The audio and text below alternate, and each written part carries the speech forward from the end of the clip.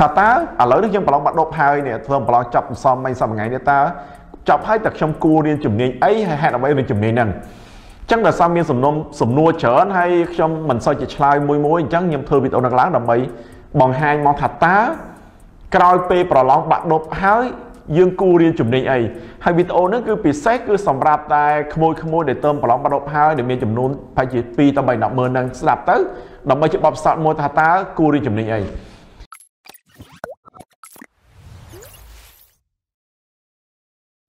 ដើម្បីដឹងថារៀនបាត់ដប់ចប់ហើយយើងគួររៀនជំនាញអីគឺខ្ញុំលើកឡើង3ចំណុចទី1គឺមុខវិជ្ជាដែលត្រូវរៀននៅមហាវិទ្យាល័យ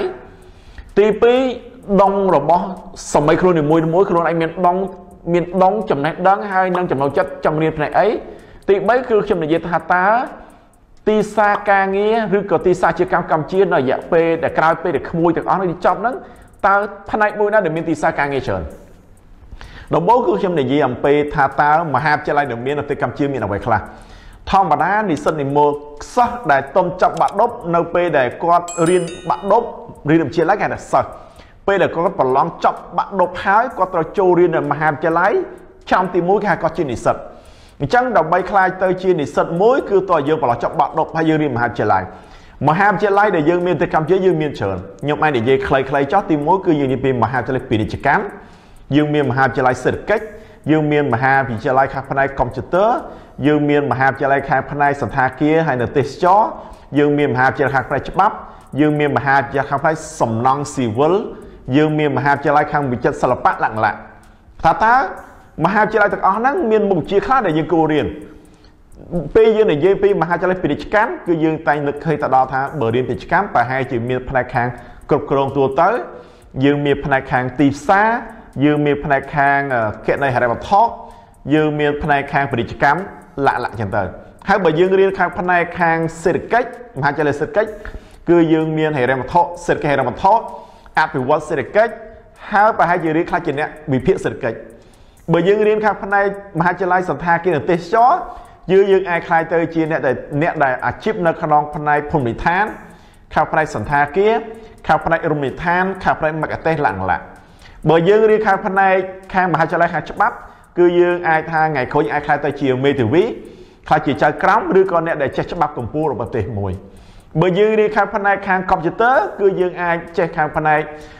programming សរសេរកម្មវិធីសរសេរកូដសម្រាប់លក់គ្រប់គ្រងទៅលើប្រព័ន្ធកុំព្យូទ័រហើយនឹងធ្វើ software ផ្សេងៗហើយបើសិនជាយើងរៀនខាងផ្នែកសំណង់ស៊ីវិលគឺយើងមានខាងផ្នែកដូចជាផ្នែកខាង architect ខាងគូប្លង់ យើងមានគូប្លង់ក្នុងគូប្លង់ក្រៅគូ landscape បើខាងផ្នែកវិស្វករយើងមានវិស្វករខាងភ្លើងវិស្វករខាងទឹកវិស្វករសំណង់ទូទៅដែលមានតាំងពីខាងផ្នែកស្ពានលូលក្ខណៈចឹងទៅខាងខាងផ្នែកច្រើនអញ្ចឹងនៅពេលដែលមានមហាវិទ្យាល័យវាច្រើនពេកធម្មតាសិស្សដែលទៅចប់ហើយចូលរៀនមហាវិទ្យាល័យខ្លាចនិស្សិតហ្នឹងគាត់អត់ដឹងទេគាត់មិនដឹងថាតើបើមហាវិទ្យាល័យមានច្រើនម្លឹងម្លឹង មុខវិជ្ជាក៏រៀនច្រើនដែរថាតើ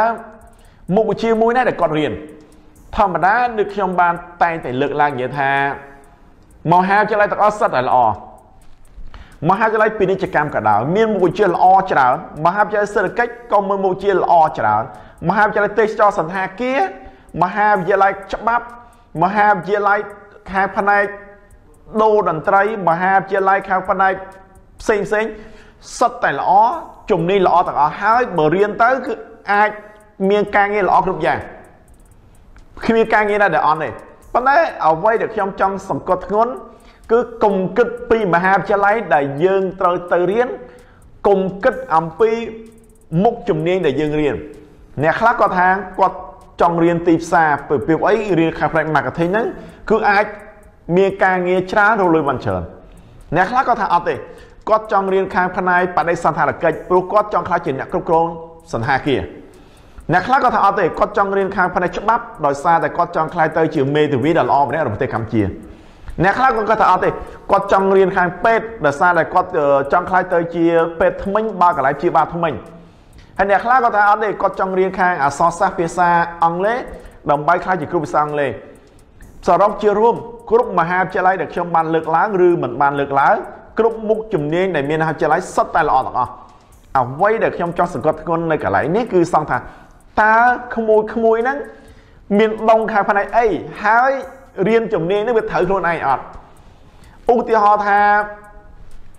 សិស្សម្នាក់ហ្នឹងការនៅរៀនបាក់ដប់គឺគាត់បកកែផ្នែកអឺគីមីគាត់បកកែខាងគីមីគាត់ចេះគណិតវិទ្យាច្រើនហើយគាត់ចេះភាសាសំរុំ ប្រសិនបើអ្នកបកកែគីមីមុខរបរមុខមុខវិជ្ជាដែលគួររៀនថ្ងៃក្រោយគឺខ្ញុំគិតថាគួរតែរៀនខាងពេទ្យអ្នកបកកែគីមីបើសិនជាអ្នកបកកែគីមីហើយចេះភាសាបរទេសច្រើនវ័យពេទ្យទៀមទានៅអ្នកចំណេះដឹងគីមីឲ្យខ្លាំងគណិតវិទ្យាឲ្យខ្លាំងហើយភាសាបរទេសព្រោះអីមេរៀននៅពេទ្យពីច្រើនគេប្រើភាសាច្រើនពិសេសគឺបារាំងអង់គ្លេសបើបើអ្នកដែលរៀនចេះគីចេះគីមីគណិតវិទ្យាអក្សរសាស្ត្រអង់គ្លេសបារាំងចេះច្រើនរៀនពេទ្យទៅ ពេទ្យគឺជាមុខរបរមួយ ជាអាជីពមួយដែលលើសពីការរលុយប៉ុន្តែខ្ញុំសូមបញ្ជាក់ណាអ្នកណាក្តៅដែលរៀនពេទ្យដើម្បីខ្លះជាអ្នកមានអាហ្នឹងកុំទៅរៀនល្អជាងរៀនពេទ្យព្រោះគិតថាពេទ្យអាចរលុយបានច្រើនខ្លះជាអ្នកមាន គឺជាកំហុសមួយប៉ុន្តែក៏មានអ្នកខ្លះទៀតគាត់ខាងគាត់ចង់រៀនខាងផ្នែកគាត់គឺជាមនុស្សដែលការនៅរៀននៅវិទ្យាល័យហ្នឹងគាត់បកកែខាងអក្សរសាស្ត្រអក្សរសិល្ប៍ចេះអក្សរភាសាខ្មែរច្បាស់ អក្សរសាស្ត្រអក្សរសិល្ប៍ប្រវត្តិវិទ្យាភូមិវិទ្យាគាត់បកកែអញ្ចឹងប្រសិនបើក្មួយនៅរៀនក្មួយបកកែខាងរូបបកកែខាងភូមិវិទ្យាបកកែខាងប្រវត្តិវិទ្យាបកកែខាងអក្សរសាស្ត្រហើយចេះភាសាបរទេសសំរុំទៀតខ្ញុំគាត់ថារៀនច្បាប់ត្រូវជាងច្បាប់គឺជាមុខវិជ្ជាមួយមហាវិទ្យាល័យមួយដែលភាគច្រើនមនុស្សសិស្សដែលបកកែរូបបកកែភូមិវិទ្យាប្រវត្តិវិទ្យាបកកែភាសាបរទេសរៀនច្បាប់គឺត្រូវហ្មងហើយ រៀនច្បាប់គឺការងារធំដែលយើងមើលឃើញគឺអរគ្នាដឹងថារៀនច្បាប់បំណងរបស់ច្បាប់គឺធំមានច្រើនប៉ុន្តែមានតែពីរដែលធំជាងគេ ទី1គឺចង់ខ្លាចជាមេធាវីទី2ចង់ខ្លាចជាចៅក្រមហើយក៏មានអ្នកខ្លះទៀតរៀនច្បាប់គឺដើម្បីដឹងពីច្បាប់កុំឲ្យធ្វើខុសច្បាប់អាហ្នឹងក៏ជារឿងមួយដែរដូចខ្ញុំលើកឡើងតាក់ទងទៅនឹងពេទ្យចឹងនៅណាក៏ដោយដែលរៀនពេទ្យដែលគិតថារៀនពេទ្យ គឺដោយសារតែពេទ្យហ្នឹងរលុយបានច្រើនគឺជាកំហុសមួយបើសិនជារៀនពេទ្យដើម្បីនឹងច្រើនខ្ញុំគាត់កុំរៀនល្អជាងហើយអ្នកដែលបកកែ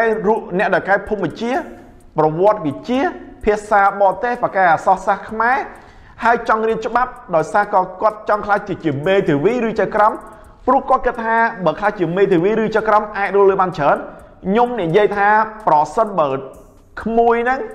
ចង់រៀនច្បាប់ដើម្បីខ្លាចជាមេធាវីឬចៅក្រមព្រោះក្មួយគិតថារៀនមុខមុខជំនាញហ្នឹងខ្លាចអាចរលួយបានច្រើនគឺជាកំហុសមួយកុំរៀនល្អជាងព្រោះអីតែរៀនច្បាប់គឺមិនមែនដើម្បីរលួយបានច្រើនទេបើចង់រលបានច្រើនវាមានអាមុខរបស់មុខមហាវិទ្យាល័យផ្សេងទៀតដែលរៀនហើយរលបានច្រើនប៉ុន្តែរឿងច្បាប់នេះមួយរៀនច្បាប់ដើម្បីខ្លាចជាមេធាវី ឬជាចៅក្រមដើម្បីរលួយបានច្រើនកុំរៀនល្អជាងព្រោះបងប្អូនឯងឬក្មួយហ្នឹងមានកំណត់អញ្ចឹងអានឹងគឺជាគ្រោះថ្នាក់មួយដល់សង្គមជាតិអ្នកណាក៏ដោយដែលរៀនច្បាប់ដើម្បីខ្លាចជាមេធាវីឬចៅក្រមព្រោះគិតថានឹងរលួយបានច្រើនកុំរៀនព្រោះបើរៀនទៅនឹងគ្រោះថ្នាក់ដល់សង្គមជាតិ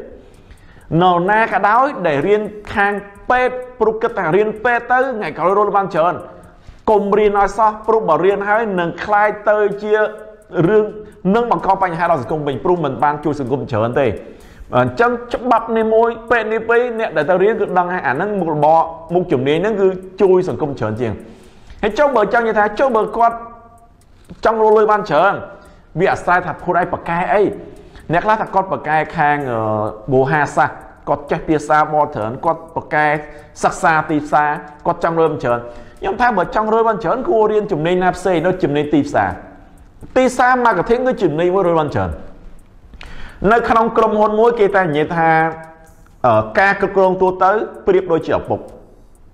គណនេយ្យករប្រៀបដូចជាម្ដាយទីផ្សារដូចជាបងប្រុសធំអញ្ចឹងគឺបងប្រុសធំអ្នកដើររដើររលួយឲ្យក្រុមហ៊ុន marketing ឬក៏ទីផ្សារគឺជាអ្នកដើររលួយឲ្យក្រុមហ៊ុន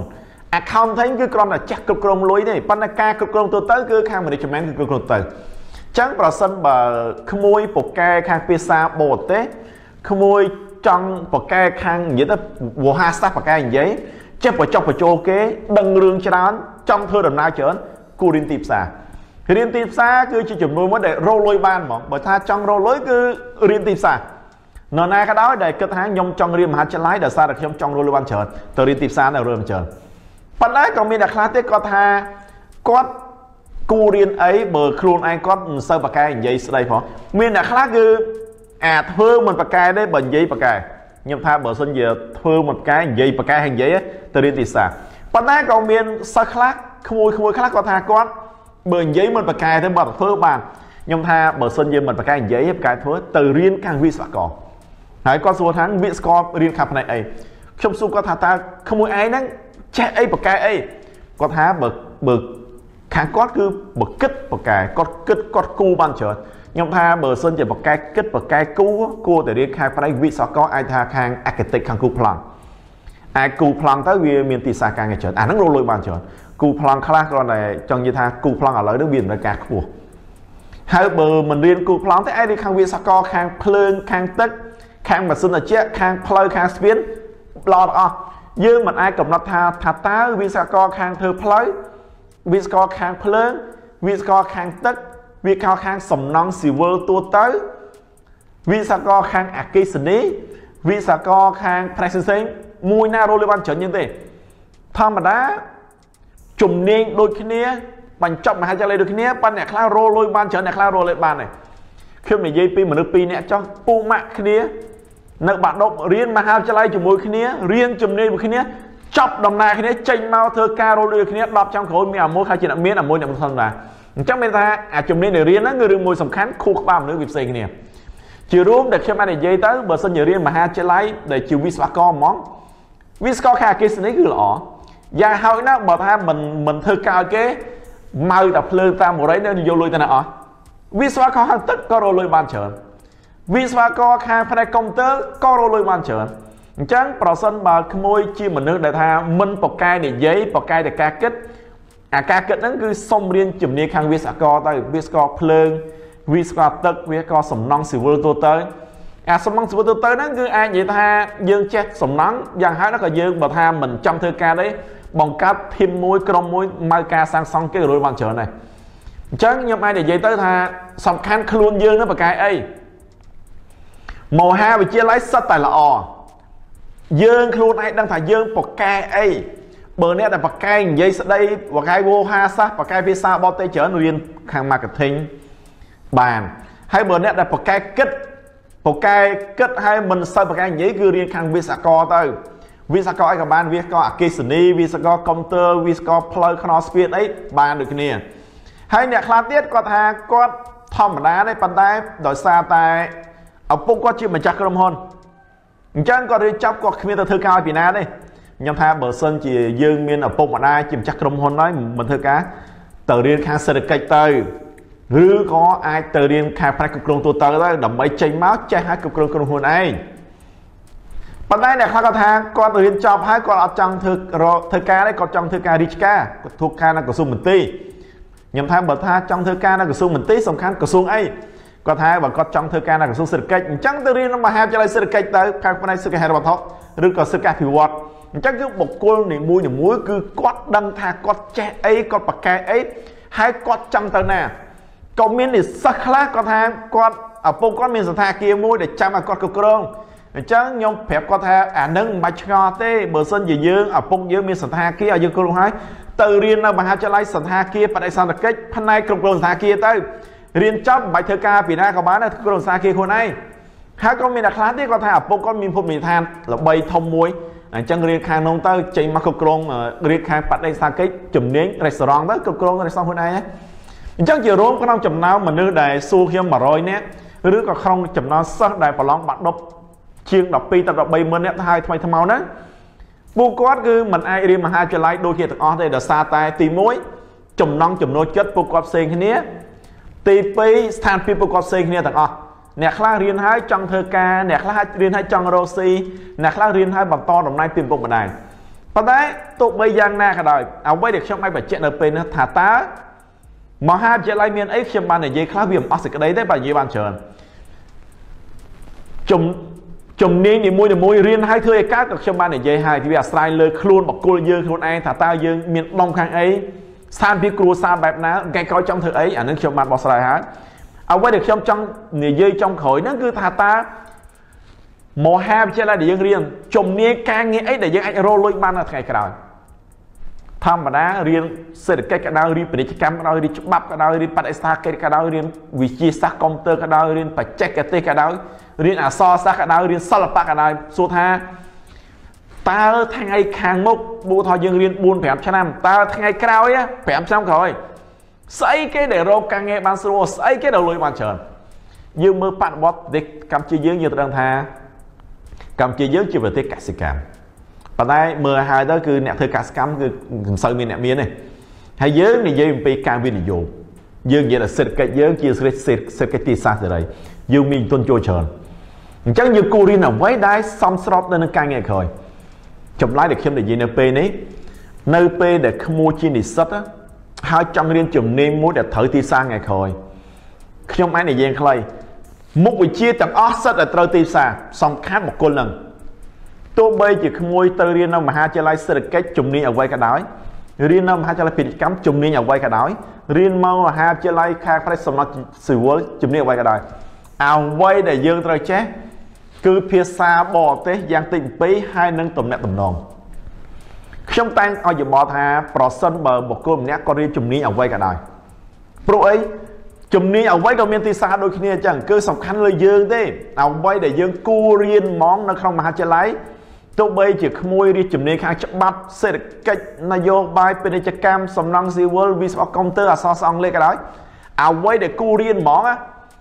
ចូលរៀនឆ្នាំទី1ភ្លាមគឺត្រូវតែរៀន មហាវិទ្យាល័យតែមួយហើយនឹងពីរភាសាឆ្នាំទី2នៅតែបន្តរៀនមហាវិទ្យាល័យតែមួយនិងពីរភាសាឆ្នាំទី3ត្រូវរៀនមហាវិទ្យាល័យតែមួយភាសាតែមួយហើយនឹងធ្វើការងារ part time ឆ្នាំទី4ត្រូវរៀនមហាវិទ្យាល័យតែមួយត្រូវធ្វើការងារបានពេញម៉ោងចប់មហាវិទ្យាល័យ4ឆ្នាំភ្លាមគឺមានន័យថាយើងបញ្ចប់បញ្ញាបត្រហើយចេះពីភាសាបទពិសោធន៍3ឆ្នាំក្នុងនាមជាម្ចាស់យាកម្មម្នាក់ហើយខ្ញុំក៏ឆ្លងកាត់ជាជីវិតជានិស្សិតខ្ញុំដឹង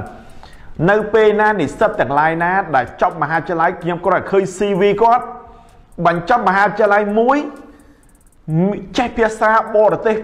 2ធ្លាប់មានបទពិសោធន៍ធ្វើការទាំង part time ទាំង full time 2ឆ្នាំខ្ញុំយកហើយ ពួកខ្ញុំដឹងថាអ្នកហ្នឹងគឺបានរៀបចំអនាគតខ្លួនឯងបានល្អកំហុសមួយដែលខ្ញុំបានឃើញមានក្មួយក្មួយជាច្រើនគាត់ទៅរៀនមហាវិទ្យាល័យម្ដងពីរមហាវិទ្យាល័យមិនដឹងគាត់រៀនដើម្បីអីរៀនមហាវិទ្យាល័យដល់2រៀនចប់ហើយគឺបានសញ្ញាបត្របញ្ញាបត្រ2បទពិសោធន៍សរោពម័ដែលធ្វើការទេសូម្បីតែចុះ train សូម្បីតែធ្វើការ part time សូម្បីតែសុំទៅ ក្រុមហ៊ុនគេដើម្បីយកស្អីក៏គាត់អត់មានដែរគឺគាត់មានសញ្ញាបត្របញ្ញាបត្រ2កំហុសរបស់អ្នករៀនដែលគូកែដែលខ្ញុំសុំលើកឡើងគឺសុំរៀនមហាវិទ្យាល័យតែមួយប៉ុន្តែត្រូវចេះភាសាបរទេសឲ្យបាន2យ៉ាងតិចក្រៅពីភាសាជាតិភាសាខ្មែរភាសាពីរដែលខ្ញុំចង់លើកឡើងសម្រាប់ក្មួយដែលតងប្រឡប់រត់ថ្មហ្នឹងគឺភាសាអង់គ្លេសនិងភាសាចិន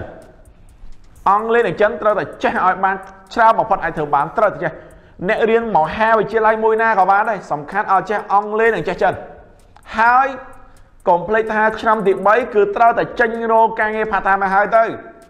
ឆ្នាំទី4អាច part time ឬ full time នៅពេលណាដែលយើងចប់បញ្ញាបត្រយើងចេះភាសាបរទេស2យើងមានបទពិសោធន៍ធ្វើការ2ឆ្នាំប្រាក់ខែយើងច្រើន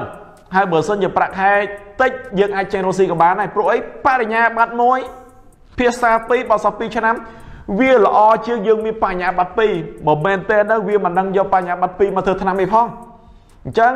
សរុបសេចក្តីមហាវិទ្យាល័យដែលបង្រៀននៅនៅសកខ្មែរយើងល្អគ្រប់យ៉ាងគ្មានមហាវិទ្យាល័យមួយណាល្អជាងមហាវិទ្យាល័យមួយណាគ្មានចំណេញមួយណាល្អជាមួយណាទេអ្វីដែលសំខាន់ តើយើងមានដងខាងអីយើងគួររៀនអីគឺយើងខ្លួនឯងត្រូវតែដឹងទី2នៅពេលចូលរៀនមហាវិទ្យាល័យហើយខ្ញុំសង្កត់ឃើញឡើងវិញគឺឆ្នាំទី1ត្រូវតែរៀនឆ្នាំទី1ហើយភាសាបរទេស2ឆ្នាំទី2គឺត្រូវរៀនមហាវិទ្យាល័យតែមួយភាសាបរទេស2ឆ្នាំទី3គឺត្រូវតែរៀនមហាវិទ្យាល័យតែមួយភាសាតែមួយហើយនឹងធ្វើការក្រៅម៉ោង part time ឆ្នាំទី4គឺត្រូវតែរៀនមហាវិទ្យាល័យតែមួយហើយធ្វើការពេញម៉ោងពេលដែលយើងចប់ហើយគឺយើងគេហៅថា មកកំ pl យើងមានហ្មង ភាសាបរទេស2មហាវិទ្យាល័យបោះសត2ឆ្នាំគ្រូនៅក៏យកដែរហើយបើធ្វើតាមនេះគឺខ្ញុំគិតថាអនាគតកម្ពុជាសិទ្ធិកម្ពុជានឹងច្រើនដល់សារយើងមានធនធានធនធានមនុស្សដែលខ្លាំងប្រធានបទដែលខ្ញុំលើកឡើងថ្ងៃនេះមានប៉ុណ្្នឹងសូមអរគុណច្រើន